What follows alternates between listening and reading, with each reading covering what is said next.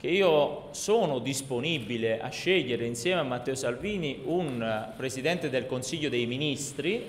terzo, che possa eh, rappresentare un contratto di governo nel quale però ci siano le condizioni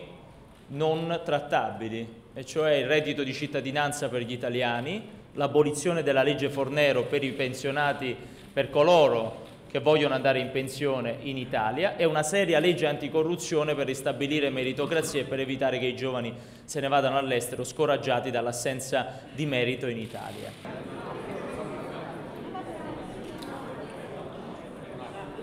Abbiamo offerto al Presidente della Repubblica, consci del fatto che il Paese non può aspettare, che i problemi da risolvere sono tanti, la disponibilità mia, a nome della coalizione che ha preso più voti dagli italiani, a dar vita a un governo che cominci a risolvere tutti i problemi del Paese, dal lavoro alle tasse, dalle pensioni all'immigrazione. Confidiamo che il Presidente della Repubblica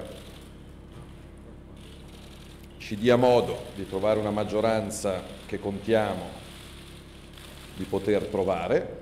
mettendoci in campo personalmente e direttamente, perché stanti così le cose, la nostra coalizione è quella che rappresenta maggiormente il voto, la sensibilità, le ambizioni e le speranze di 60 milioni di cittadini italiani. Quindi confidiamo che dalle prossime ore possiamo essere messi finalmente al lavoro. Vi ringraziamo e vi auguriamo buona giornata.